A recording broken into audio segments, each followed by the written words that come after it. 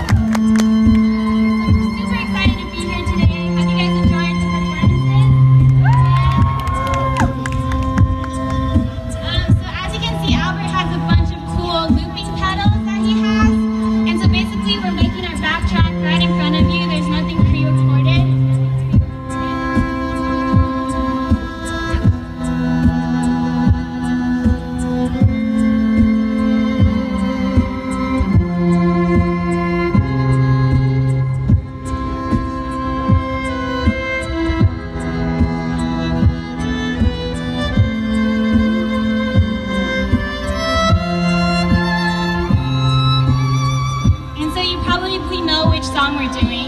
Um, we're doing Taeyang's Eyes, Nose, Lips.